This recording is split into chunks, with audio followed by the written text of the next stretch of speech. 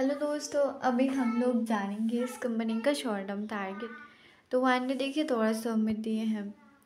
Five day देखिए twelve percent के पास से रिटर्न इसका वन महीने देखिए वन परसेंट रिटर्न दिए हैं। इसका सिक्स महीने देखिए one hundred two percent return इसका वन ईयर में देखिए नाइन्टी फोर परसेंट रिटर्न दिए हैं।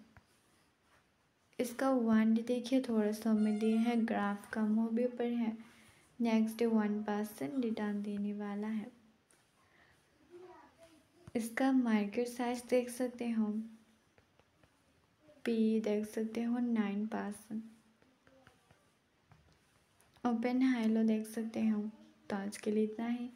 मैं God bless you good bye